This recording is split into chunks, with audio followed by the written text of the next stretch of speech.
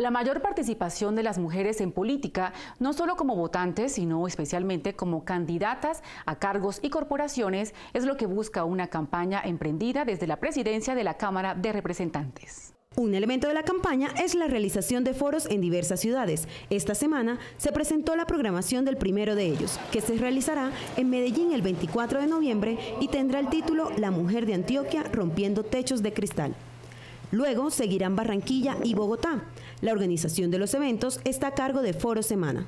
La Cámara de Representantes lo que quiere en alianza con Foro Semana es hacer un ciclo de foros para hablar sobre temas de inclusión, pero centrado en el papel de la mujer en diferentes segmentos de la sociedad y en diferentes disciplinas y actividades.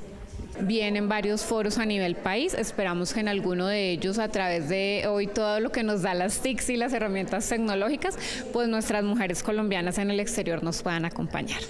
En el evento se dio a conocer la visión de mujeres rurales, mujeres líderes comunitarias y víctimas del conflicto armado, con el fin de detectar liderazgo en ellas e incluirlas en el sector corporativo y político.